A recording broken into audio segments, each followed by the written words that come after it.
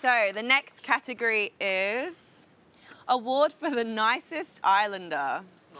I'm out the running. Yeah, I'm out. I'm out pretty quick. I'm definitely oh, out. I wouldn't say I'm. Why? I think. I think you're sweet. And the nominees are Todd. So it's a bit of an odd one, but Matthew. Oh. And Cartier. You got this one. You got it. Well, I don't think we can really judge Todd that fairly since he's relatively new. He is new. He's so nice. I feel bad though because He's so just because they're new doesn't really I help me. know, I know. No. He's, the nice, he's Um, probably one of the nicest, but I think I'm an all-rounder. Cartier. She puts in. She's nice to everyone, really. She's really nice. Yeah.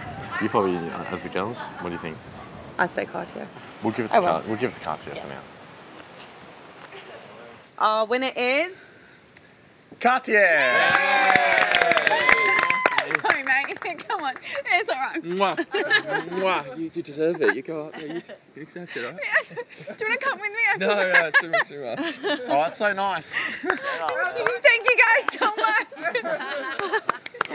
this is really such an honor, you know, standing up in front of you guys, knowing that you guys can see how nice I am.